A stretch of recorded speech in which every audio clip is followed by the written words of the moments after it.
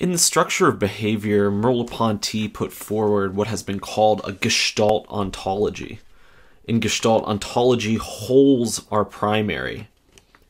Since gestalts are embodied and perceptual for Merleau-Ponty in the structure of behavior, consciousness and nature are simply degrees of integration and mutual dependence within interlocking gestalts. They are not two separate things with different realities. Nature is a gestalt, embodiment is a gestalt, creativity is a gestalt, and consciousness is a gestalt.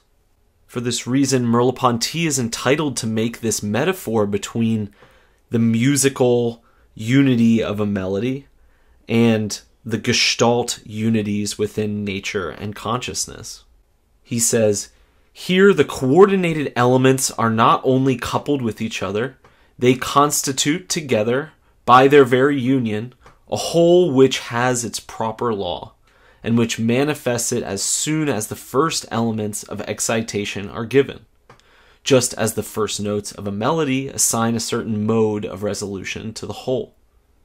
While the notes taken separately have an equivocal signification, being capable of entering into an infinity of different ensembles. In the melody, each one is demanded by the context and contributes its part in expressing something which is not contained in any one of them and which binds them together internally. Inversely, the same melody can be played two times without the two versions having a single common element if it has been transposed. Coordination is now the creation of a unity of meaning which is expressed in the juxtaposed parts, the creation of certain relations which owe nothing to the materiality of the terms which they unite. What Merleau-Ponty is showing here is that when we understand a melody, it's not because we hear each note as having its own reality and identity on its own. We hear the notes as having their reality within the melody.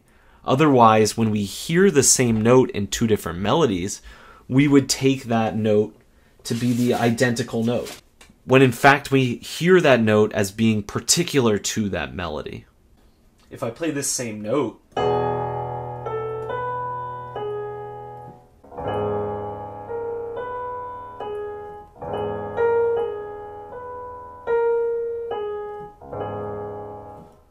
I don't identify it as the same note. When I hear this note in the major chord, I hear it in relation to these other notes that it's in harmony with.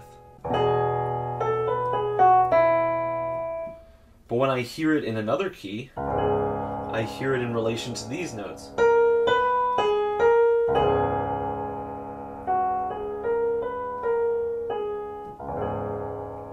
So the same note does not have an equivalent value within two different melodies. And inversely, he says, we can play the same melody two times without having any common element if we transpose it. So again, we can play and then move that to a totally different key. Then we're playing the exact same melody, but none of the notes are the same. The coordination is a unity of meaning or a sense making structure rather than something tied to the parts themselves or arising from parts in isolation. The notes within the melody determine a certain mode of resolution of the whole. When we play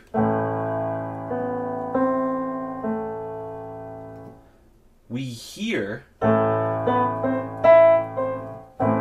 the whole melody that can come from that, all of the possible notes that would still be harmonically related to it.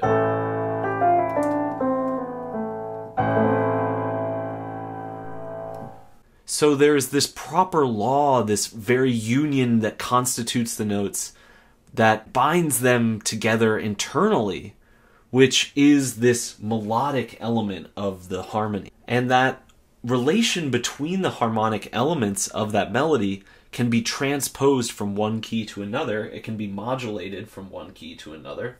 So I can play. Or I can play. Or I can play. The same structure is being transposed into different material. Its coordination and its unity express that internal binding that the parts have to one another as parts of a whole.